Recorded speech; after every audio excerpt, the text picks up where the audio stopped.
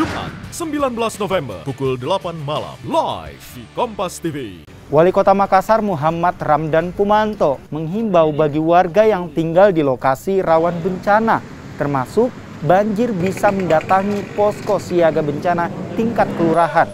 Selain itu, BPBD dan Dinas Sosial Kota Makassar juga akan disiap-siagakan untuk mengantisipasi bencana, mengingat kini mulai masuk musim penghujan.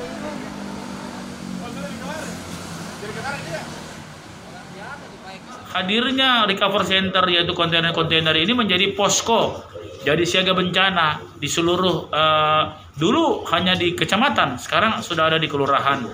Terus yang ketiga adalah modernisasi atau revitalisasi dinas sosial dan BPBD termasuk uh, peningkatan uh, cadangan uh, relawan kita untuk mempersiapkan diri uh, terhadap cuaca ekstrim Teman-teman ingat, dua bulan lalu saya sudah berkoordinasi dengan balai. Jadi jauh-jauh hari sebelumnya, sebelum cuaca ekstrim tiba, kami sudah uh, berbicara banyak dengan balai dan bekerja sama dengan uh, hal yang nyata. Misalnya di kawasan uh, Kodam 3, kawasan di Pecerakan situ, uh, jalur air sudah begitu baik, tinggal uh, ada jembatan yang mempersempit air. Begitupun dengan uh, blok 8 dan blok uh, 10 di Antang.